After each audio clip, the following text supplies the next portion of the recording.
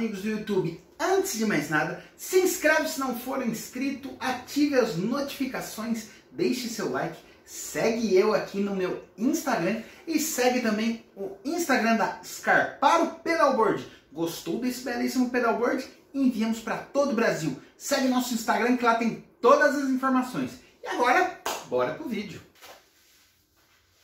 Então, meus amigos, no nosso vídeo de hoje, vamos falar desses dois pedais. O primeiro é o Tube Screamer TS9, acho que é o pedal, acho não, é o pedal mais copiado do mundo, tá? Todo TS9, ele é feito no Japão, tá? Esse meu aqui é novinho, novinho, novinho, pedal zero, aqui em cima tem até um, um plástico ainda. Dá o clássico usado pelo mundo todo. E aqui o Marshall Blues Breaker 2. Eu tenho review desse pedal. Vou deixar o link na descrição. Lembrando que esse é o, Blues Breaker 2. Tem o Blues Breaker 1, né? Tá aqui. Que esse pedal virou item de colecionador por causa do John Mayer. Então você vai achar ele aqui no Brasil por 6 mil, 5 mil, uma fortuna. Mas, teoricamente, os dois têm a mesma proposta. Um overdrive de baixo ganho. Então eu vou comparar os dois, certo? O Tube Screamer, se pedirem, se, se falar, ah, você pode ficar com um pedal só, eu fico com o Tube Screamer. Pedal maravilhoso. Eu acho ele perfeito para tocar sozinho. para empurrar distorção de amplificador. E esse daqui, ele custa...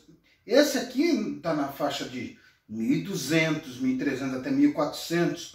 Esse aqui ele varia um pouco e é um pedal que acho que não está mais indo para o Brasil, apesar de ainda estar no site da Marshall, mas você acha ele em torno de 800 reais, 550, ele varia um pouco. Então eu vou fazer alguns testes com eles e você vai me dizer qual que eu gosto. Eu não vou deixar a equalização dos dois igual, igualzinha. Mas eu vou deixar eles, por exemplo, o, o Blues Breaker 2 ele tem um pouco mais de ganho. Então eu quero deixar eles com os timbres mais parecidos possível. Beleza? Bora lá então. Bom, meus amiguinhos, a guitarra que eu vou usar vai ser S Banis S320 Seymour Duncan Jazz no braço e Seymour Duncan Custom na ponte eu vou usar praticamente, acho que só o... Não, não vou usar só o captador da ponte, não. Beleza? Vou deixar direto aqui nos pedais, vocês já vão saber qual que eu estou usando. Facilita a minha edição. Bora lá. Bom, pessoal, aqui é meio difícil. Esse pedal é meio ruim para você poder ver onde tá, né? Mas aqui, ó, você tá vendo, o drive tá aqui mais ou menos 9 horas, o tone um pouquinho mais baixo, o volume ele está mais alto porque os Blues Breaker, em geral, eles são os pedais baixos. O primeiro, então, era muito baixo. Né? E aqui o Tube Screamer está praticamente tudo ao meio-dia. Um pouquinho mais, um pouquinho menos. Bom, pessoal, é, a, a luz do Tube Screamer dá para vocês verem ela bem forte, né? Já aqui é do Blues Breaker, só quando eu faço assim, ó, mas não dá para ver tão bem. Mas quando vocês virem a luz do Tube Screamer apagada, significa que o Blues Breaker está ligado. E quando vocês irem a luz do Tube Screamer ligada, vocês sabem que é ele que eu estou tocando, beleza? Pessoal, vamos começar pelo Tube Screamer, tá? É, amplificador no canal limpo, Marshall DSL 20H, sem reverb, sem delay.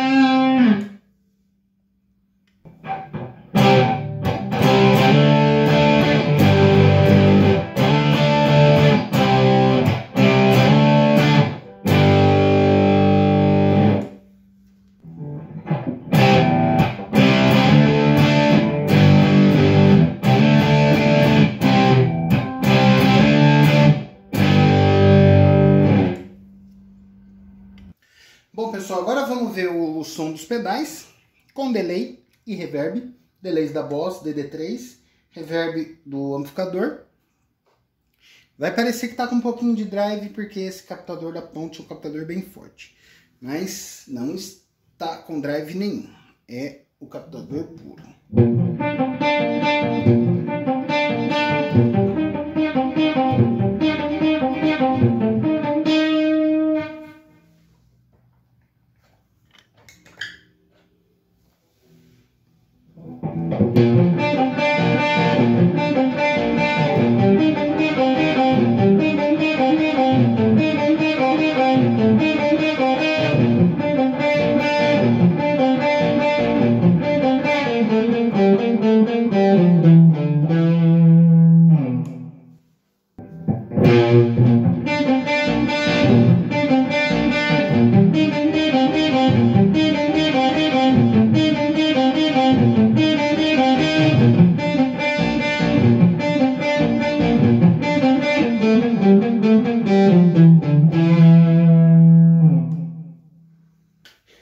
Pessoal, para encerrar o vídeo, vamos ligar os dois para ver se fica legal?